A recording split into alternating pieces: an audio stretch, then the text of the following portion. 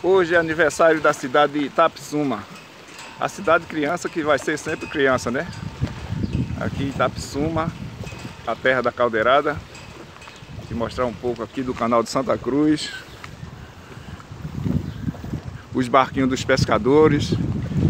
Itapsuma é considerada também a terra é, dos pescadores, né?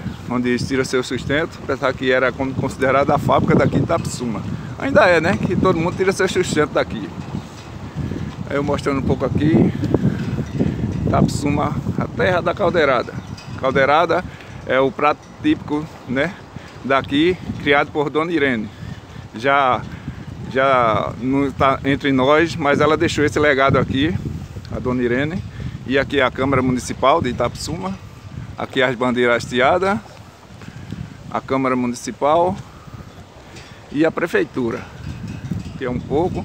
Lá na frente fica a cidade, é, junto com o comércio, né?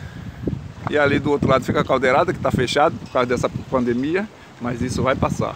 Os pescadores ali, alguns jogando tarrafa também. Do outro lado fica Itamaracá. E aqui o canal de Santa Cruz. Os pescadores aí, algumas pessoas pescando, né? E é isso. É, Itapsuma fica em Pernambuco, a terra da caldeirada. Célio André, produtor cultural, sempre faço homenagem à cidade de Itapsuma também. Né? Aqui é a tradicional, o banho de maré. Tem o piachachá também, que é uma dança muito antiga aqui de Itapsuma. Tem a buscada de São Gonçalo. A buscada é do Pato também, tem aqui também em Itapsuma.